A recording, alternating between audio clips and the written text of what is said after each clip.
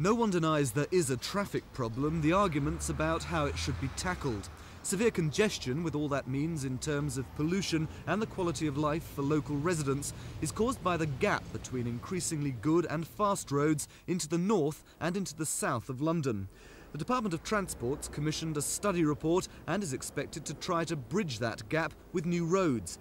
Islington Alerts say that answer would be a local disaster and are pushing instead for better public transport and bans on heavy lorries.